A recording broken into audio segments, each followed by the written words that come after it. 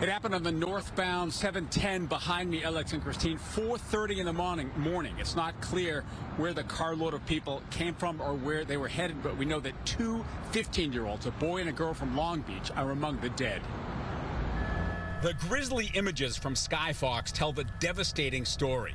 One car, six passengers, five dead, one survivor fighting for their life. The smoke is in my face, um, and then I just, uh, like, I just grabbed my phone and I, I called 911.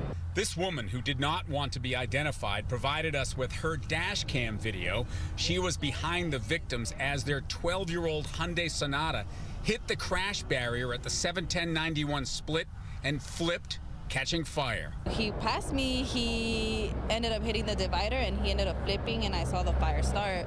Immediately after that, I grabbed my phone and I called 911.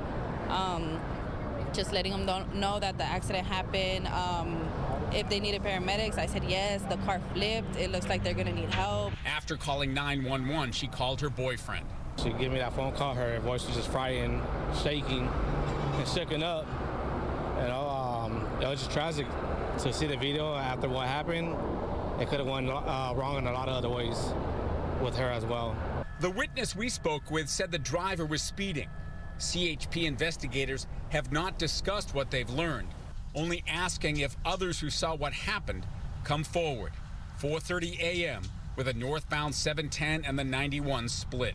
Only one vehicle is involved. Of course, we ask that all witnesses to this crash come forward, um, but at this time it's determined to be one vehicle only. Of course, that crash barrier, we're familiar with those at gore points and transitions. Those are designed to absorb the impact of a vehicle, but it was no doubt traveling at high speed to cause that type of devastation.